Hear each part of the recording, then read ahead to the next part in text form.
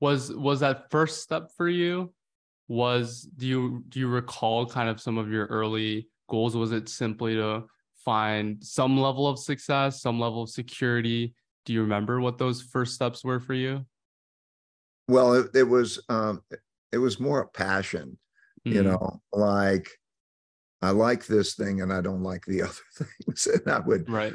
pursue pursue what i liked uh, in my particular case, I happened to like the market. So I got hooked on the markets and it happened to be a game. Think mm-hmm. of it like almost a video game.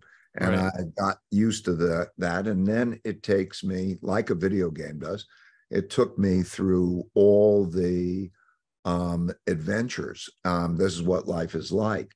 Uh, you pursue a path that there's a passion or something um, in which you have you have a certain nature. Everyone has a certain nature. and that nature creates a pull, and you're search of your path and your pull. so I had my nature that gave me my pull. I found a direction. And it's not like there's just one direction. There are multiple directions that would work, but many that also, you know, wouldn't work. It's a function in nature. I had the pull in that direction. And then think of it as a journey. You know, you overcome, you go through jungles and you cross rivers and you have all sorts of obstacles and so on. And along the way, you um, and have those encounters and those learnings. Um, I, that was what it felt like for me.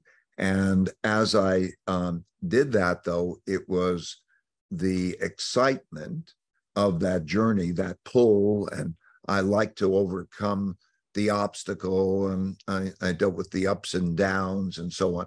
It was never that I pursued a goal to make a lot of money, though at various stages, it was very important that I could take care of my family. Money matters.